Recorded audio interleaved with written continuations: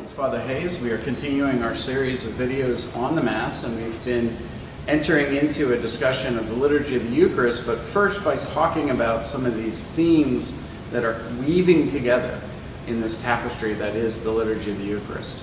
And a lot of this we're drawing from the Old Testament. And I also recommended in the last video Dr. Bergsma's book, Bible Basics for Catholics, which would be a good resource to use in conjunction with these videos. So we talked in the last video about the theme of covenant.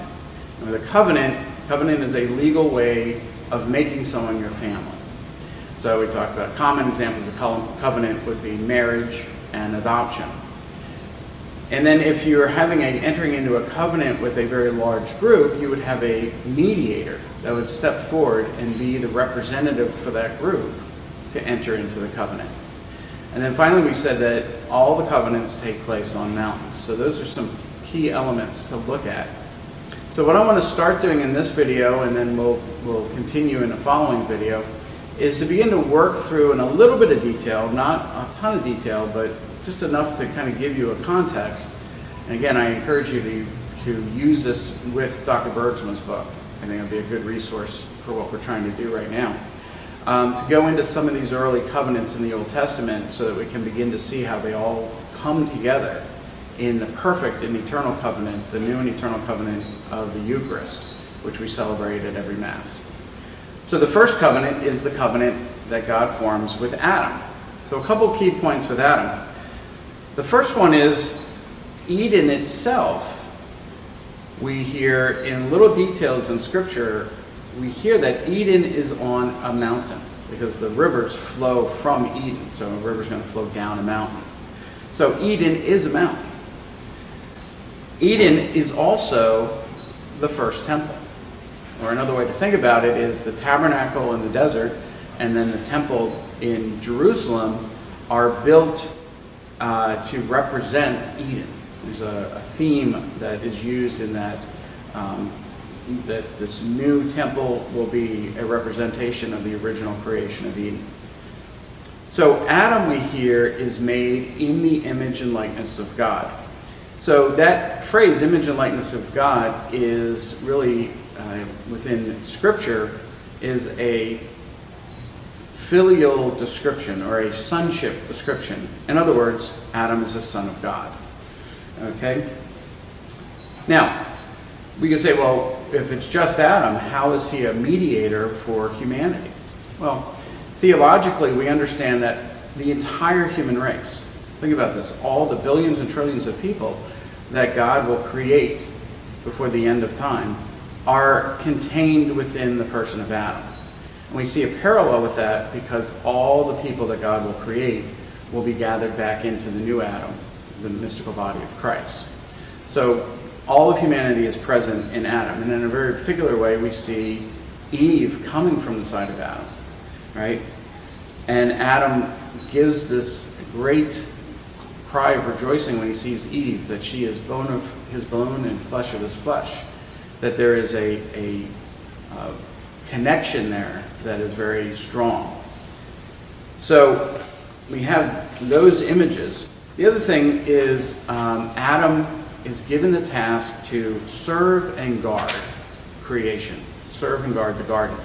And this is actually priestly imagery that will later be used. The, the priests of the tabernacle and the priests of the temple, they were charged with serving and guarding. All right, so we see Adam here is also a priest. So Eden is on a mountain, and Adam is representative of all of humanity because all of humanity, mysteriously, theologically, is contained within him. And he is a son of God. God has created him in his, in his image in order for him to be entering into not simply a service relationship, but a sonship relationship. So those are some of the key points with the, the covenant with Adam. So then we know that sin and the fall takes place, and so God needs to reestablish uh, the covenant, and he needs to cleanse the earth. And so we have the great story of the flood. And what emerges from that is a remnant of Noah and his family. So in that sense, Noah is um, seen as a new Adam, or a second father for humanity.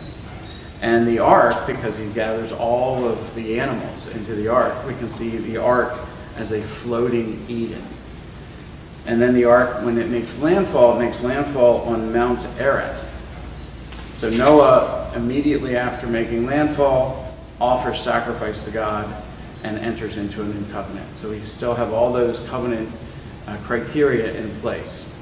Uh, relationship, he, Noah is, is the mediator on behalf of his family. He makes landfall on a mountain. He enters into covenant with God through sacrifice in order to establish that, that filial relationship with them. Then we move forward to the story of Abram, who will later become Abraham. Abram is called from God out of Ur of the Chaldees, which is modern day Iraq. And God promises Abraham in this covenant three things that Abraham will be the head of a great nation, that he will have a great name, and that he will be a blessing to everyone. Now, in the story of Abram, who becomes Abraham, the covenant is kind of played out in stages, and Dr. Bergsma goes into much better detail than I'm going to be able to in this video.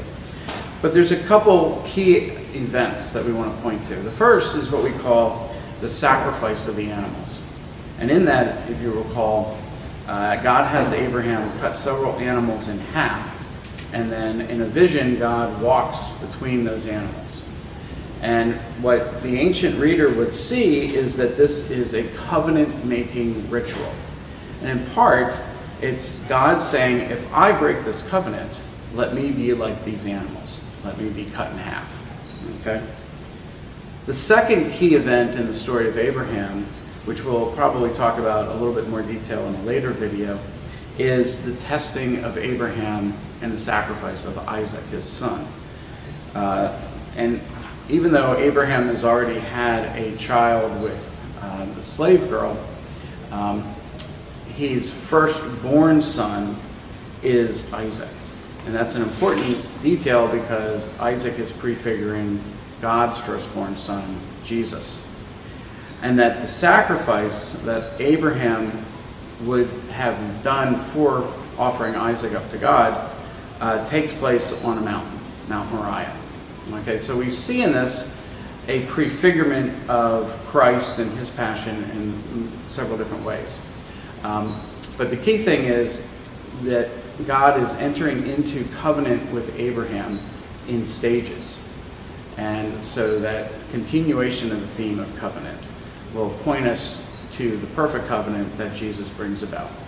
So we will continue to talk about this in our next video and finish up with um, Moses and David and then ultimately how all of this comes together in the sacrifice and the covenant of Christ. God be with you.